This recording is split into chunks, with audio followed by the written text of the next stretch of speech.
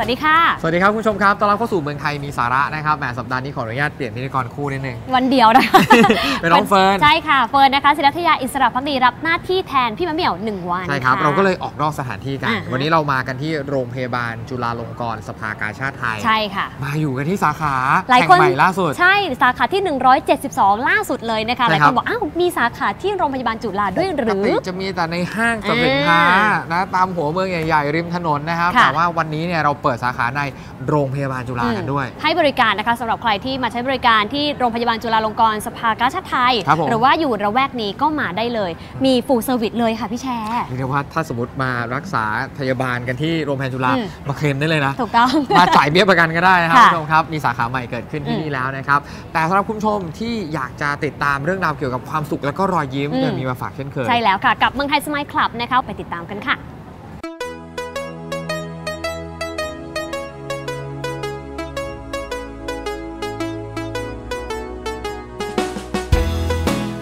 มาโหลดความสุขไปกับเมืองไทยสมายคลับกันค่ะ เพียงสมาชิกนำคะแนนสะสมสมายพอยต์แลกรับสิทธิพิเศษจากร้านค้าที่ร่วมรายการ ผ่านช่องทางสมายพิวิเลตค่ะ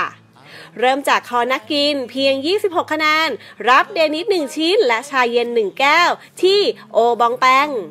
10 คะแนนสำหรับชานมไข่มุกสูตรต้นตำรับจาก p e r r y Tea 33 คะแนนสำหรับ goma parfait หรือ Yubari melon ที่ Kyo Roll En 40 คะแนนสำหรับการอัปเกรดบุฟเฟ่ชาบูเป็น premium course ที่ Kagonoya ค่ะ และ 38 คะแนนสำหรับ original half toast ที่ iberry ค่ะ ต่อด้วยเอาใจขาชอบออนไลน์ กับการได้คะแนนพิเศษเด e o วันค a r d 10 เท่าที่เซ็นทรัลออนไลน์ค่ะ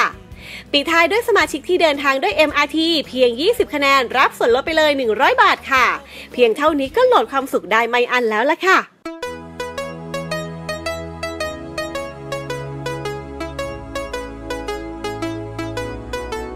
มื่อสักครู่นี้นะครับก็เป็นสิทธิพิเศษดีๆนะครับจากเมืองไทยสมัยคลับอย่าลืมนะครับไปไหนก็พกบัตรเมืองไทยสมัยคลับด้วย ใช่แล้วค่ะ แต่ว่าวันนี้เรามากันที่นี่นะคะครับเพราะว่าจะมีการพูดถึงเรื่องของสังคมผู้สูงอายุใช่ครับตอนนี้บ้านเราทุกคนมีผู้สูงอายุหมดเลยเกิน 60 คุณแม่พี่แชร์ด้วย โอ้ยเยอะแม่มากเฟิร์นก็ใกล้แล้วด้วยเหมือนและกันในอนาคตเรากำลังจะกลายเป็นสังคมผู้สูงอายุแบบเต็มรูปแบบอืมสำหรับประเทศไทยด้วยนะครับต้องมีการเตรียมพร้อมอย่างไร